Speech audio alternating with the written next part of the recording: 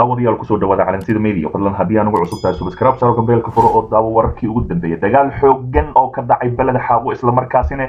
arrintii ahlu sunna wal jamaaca oo kale halkaasi lagu soo gabagabeeyey rabo ciidamada jubbaland oo hogaamiyey wasiir janan iyo madaxweyne ku-xigeenka axmed madoobe islamarkaasina obiyaal iyo wax waliba oo halkaasi ka dhacaya aan laysku adeegsanaya si kastaba ahaatee ciidamada jubbaland ayaa dabada la galay xadka kenya iyo soomaaliya islamarkaasina kenyaatigii ayaa ayagana hubkooda diyaarsaday mar haddii ay arkeen xadkoodii oo ku soo dhacayo rasaas si kastaba ahaatee wararkii ugu dambeeya ayaa ka soo baxaya. Israsaaseen ilaa iminka socota ee beled xaawo ayaa wararkayna ku soo qaadanayna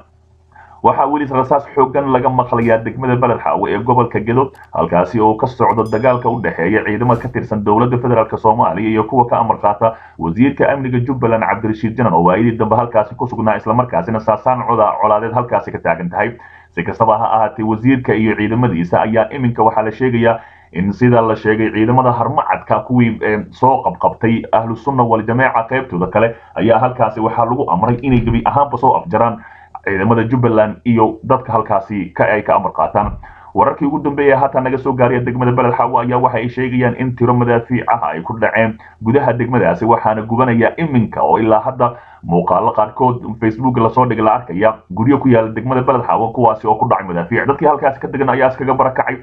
oo dagaalka waa uu sii xoogeysanaya ayaa la leeyahay ciidamada jubbaland ayaa dib loo sakiyey islamarkaasina xadka oo kenya ayay dabada la galeen dagaalka ayaa sidoo kale ku soo waramaya inuu saameeyey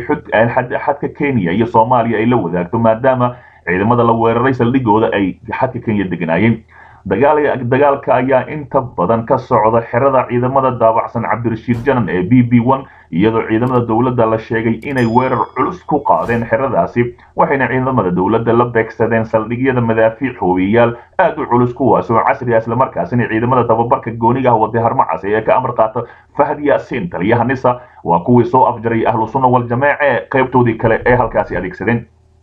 wuxuu dagaalka saameyn ku yeeshay xadka kenya iyo soomaaliya. Siiba siiba barta koowaad ee border point one loo yaqaano iyadoo rasaastu gaartay dhinaca mandera kenya waxayna ciidamada cabdirashiid janan ee daabacsan maamulka jubbaland ay salka la galeen xadka kenya iyo soomaaliya islamarkaasina macquul ayba tahayba inay gudaha u galaan halkaasi. Cabdirashiid janan iyo madaxweyne ku-xigeenka jubbaland maxamuud sayid aadan ayaa degan magaalada mandera iyagoo halkaasi ka abaabulaya dagaalka islamarkaasina ciidamadii soo sikanaya ku amraya inay gudaha soomaaliya hore u sii galaan.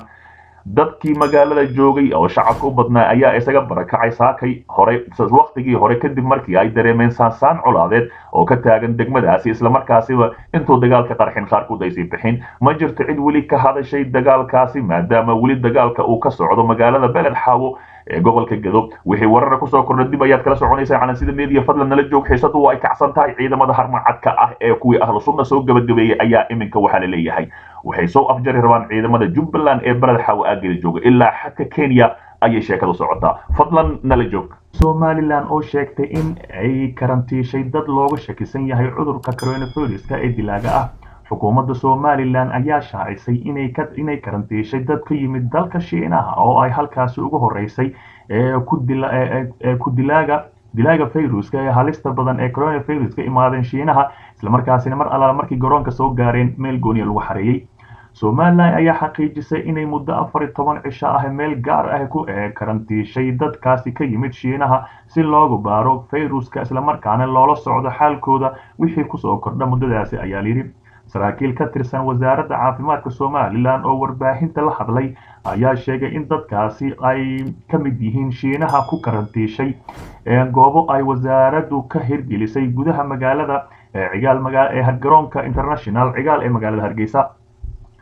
saraakiisha ayaa sidoo kale waxa ay ka dhawaajiyeen in dadka ka yimid shiinaha si gaar ah u baadhayaan ayuri ama loo baaraya islamarkaana oo muddo laba toddobaad ahi ay ku haynayaan goobta wasaaradda ugu talagashay iyadoona gebi ahaanba joojiyey. Inay wax xidhiiri ah la sameeyaan dadka ayaa layidhi waxa kale oo ay sheegay in dadkaasi ay karantiin macnaha ay karantiila yihiin oo ay si aad ah u ilaaliyaan islamarkaasina ay ka ilaaliyaan cid la kulanta ama xidhiidha la sameeya ayaa layidhi saraakiishaasi wasaaradda caafimaadka ayaa waxaa kale oo ay beeniyey in dadka ka yimid shiinaha oo si fiican loo baarin ay gudaha u galeen magaalada hargeysa sida ay warbaahinta ogaatay weli ma jiraan dad ay karantiishay wasaaraddu oo loogu helay fayruska halista badan ee sida xawliga ah ugu faafaya adduunka oo idil islamarkaasina dadka dilaya. Si kastaba ahaatee somalilan ayaa iminka xaqiijisay inay arrintaasi iminka ay dadkaasi meel goni ku hayso dhinaca kale guddoomiye mursal oo ka qayb galay furitaanka kalfadhiga baarlamaanka jabuuti islamarkaasina halkaasi khudbad ka jeediyey xarunta baarlamaanka waddanka aynu walaalaha nahay ee jamhuuriyadda jabuuti waxaa ka dhacay kulan lagu furay kalfadhiga sideedaad ee baarlamaanka jamhuuriyadda jabuuti waxaana soomaaliya uga qayb galay wafdi xildhibaano ah oo hogaamiye guddoomiyaha golaha shacabka ee dowladda federaalk soomaaliya mudane maxamed mursal sheekh cabdiraxmaan oo shalay soo gaaray dalkaasi jabuuti guddoomiyaha baarlamaanka ee dalka jamhuuriyadda jabuuti mudane maxamed cali xumed oo ugu horeyn kulankaasi furitaanka ah kalfadhiga sideedaad ee baarlamaanka dalka jabuuti ka hadlay ayaa faahfaahiyey waxyaabihii baarlamaanka dalka uu qabsoomay. Kalfadhiga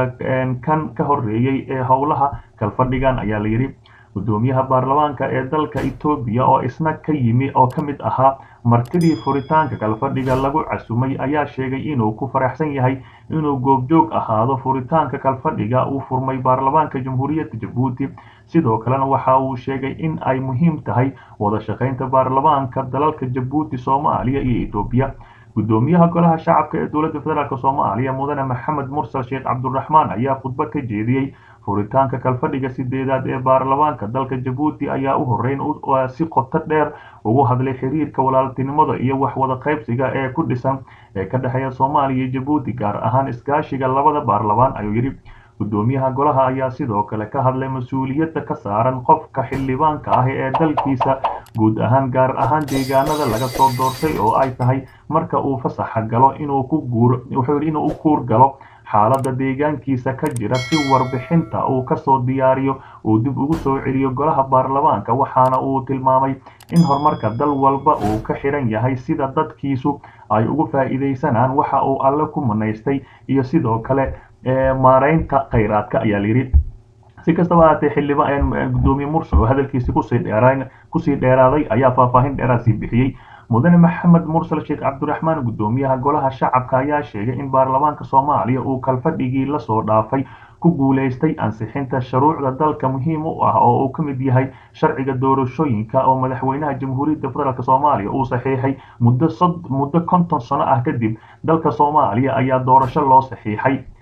ugu dambeyntii waxa uu ammaanay dowladda jamhuuriyadda jabuuti dadaaladeedii ku aadanaa horumarka iyo dowladnimada soomaaliya iyo garab istaagii isagoo si gaar ah ugu mahad celiyey ciidankii hiil walaal ee qaybta ka howlgalka amisom ee shacabka soomaaliyeed iyo dowladdana aysan weligood iloobi doonin abaalkii ay u galeen walaalahooda jamhuuriyadda jabuuti iyo hiil walaaltinimo ee ciidanka hiil walaal isagoo isagoo horumar kan ka sii ballaaran u rajeeya shacabka jamhuuriyadda jabuuti dowladooda dhammaantood ayuu allo ugu baryey inay horumar gaaraan. Si kastaba ahaatee jabuuti ayaa ah ciidamo aad u fara badan ka jooga dalka soomaaliya gaar ahaan qaybaha ka mid ah waxay joogaan dhuusamareeb iyo gobolka hiiraan. Galgaduud iyo hiiraan ayay aad ugu badan yihiin islamarkaasina gebi ahaanba hiiraan ayaga ayaa haysta oo aad u ilaaliya si kastaba ha ahaatee